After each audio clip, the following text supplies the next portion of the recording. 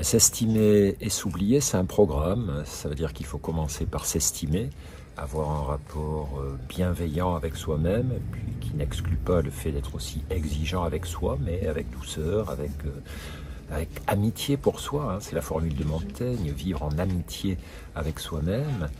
Et puis le titre est là aussi pour rappeler que s'estimer, c'est une étape, c'est un outil pour euh, puisqu'on va passer notre vie en compagnie de nous-mêmes, autant que ça soit une bonne compagnie, mais euh, pour rappeler qu'à un moment donné, euh, c'est important de passer à autre chose qu'à soi-même. Le, but de l'estime de soi, c'est pas de se réveiller le matin, de se regarder dans la glace et se dire je suis formidable, tout va bien, la vie est belle, je réussis plein de choses et, j'ai beaucoup de valeur. Ça c'est sympa qu'on puisse se dire ça de temps en temps, mais euh, le but de l'estime de soi, c'est de nous sécuriser intérieurement, de, voilà, on a fait le boulot, on sait qu'on est quelqu'un d'estimable, de, respectable. Et là, du coup, on peut penser à autre chose qu'à nous. Un, des, j'ai insisté sur ce thème s'oublier, ce terme d'oubli de soi, parce qu'on s'est aperçu dans différents travaux scientifiques que les gens qui avaient une bonne estime d'eux-mêmes quand ils arrivaient quelque part, ils n'étaient pas centrés sur eux.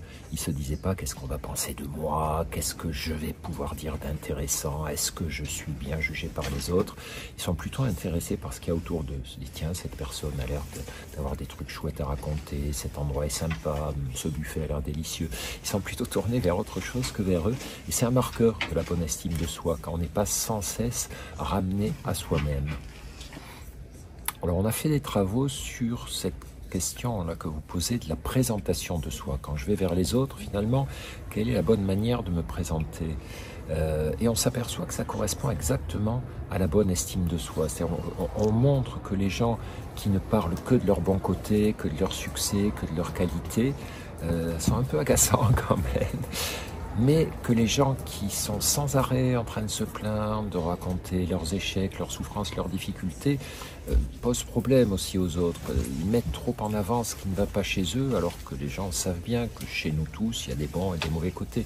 Et donc la bonne manière de se présenter aux autres, en général, en tout cas la manière qui vous rend le plus populaire, le plus apprécié, le plus sympa, comme on dit, c'est une présentation équilibrée. Ne pas avoir honte de parler de ce on fait bien, de ses bons côtés, mais ne pas cacher à tout prix ses ratages, ses plantages, ses échecs. Et, je crois que la bonne estime de soi, c'est ça. J'ai conscience que j'ai des qualités, des choses que je fais bien. Je sais aussi qu'il y en a où je suis, des domaines où je suis moins bon. J'essaie de progresser, mais je ne cherche pas à le cacher ou à faire semblant. Et le grand mensonge des réseaux sociaux, c'est que ce sont des lieux où on fait beaucoup semblant, où on présente toujours ses succès, les beaux endroits, les, amis sympas, mais jamais les côtés un peu plus biscornus de notre vie. c'est vrai que l'estime de soi, c'est un des facteurs de la réussite professionnelle, mais pas seulement d'ailleurs l'estime qu'on a pour soi-même, mais aussi l'estime qu'on porte aux autres. La bonne estime de soi, c'est euh, une façon aussi d'être respectueux des autres personnes, de savoir qu'on a besoin d'eux. Hein, les gens narcissiques, par exemple, qui ont une trop haute estime d'eux-mêmes et qui rabaissent les autres, ce sont des gens qui sont insécurisés, qui managent mal, parce que finalement, ils ne voient les autres que comme des personnes qui doivent leur rendre service, qui doivent leur obéir, qui doivent se soumettre à eux, reconnaître leurs qualités. Et au contraire, quand on manage, je, pense que c'est très important d'avoir conscience que euh, on sera bien plus fort, nous, euh, dirigeants, managers, euh, cadres, si on s'appuie sur une équipe qu'on respecte, qu'on estime, qu'on valorise et avec qui, une fois de plus, on a ce mélange qui caractérise la bonne estime de soi, de bienveillance et d'exigence en même temps. Je crois que c'est ça le, secret. les clés de la bonne estime de soi, c'est le rapport à soi, avoir ce rapport bienveillant, respectueux envers soi, exigeant, être capable de reconnaître ses qualités, ne pas les minimiser, être capable d'assumer, d'accepter ses limites et ne pas renoncer à les changer. C'est le rapport aux autres aussi, euh, ce rapport de de respect des autres, ce rapport de bienveillance pour les autres, ce rapport où euh, on n'hésite pas à ressentir de la gratitude pour les autres, à les aider. On comprend finalement l'estime de soi, elle doit se partager, puis elle peut se nourrir de l'aide que nous apportent les autres. Et puis c'est aussi un travail sur notre rapport à l'action.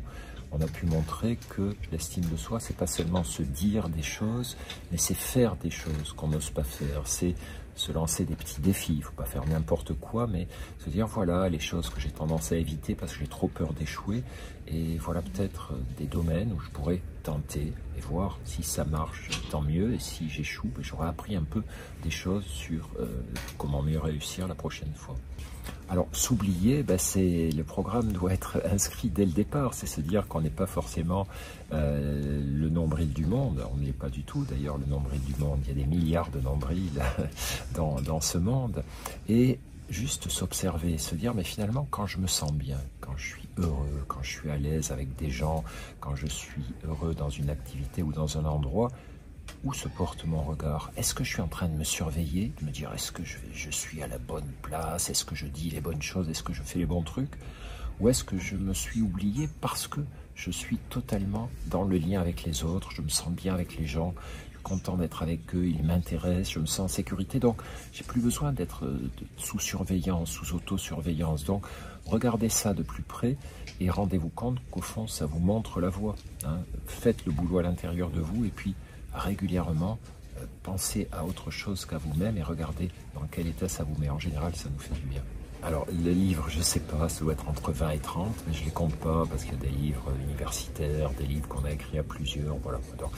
Bah, ce qui m'a amené, c'est que moi, je suis un médecin et donc je me suis aperçu que les livres prolongeaient mon travail de médecin.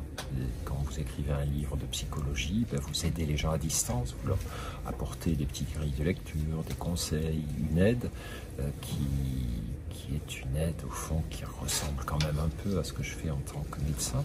Et puis j'aime écrire, donc c'est une c'est un passe-temps. Il y a des, moi j'ai des copains qui aiment bricoler, jouer de la musique, jardiner. Moi mon passe-temps c'est l'écriture, donc voilà, c'est bien tombé.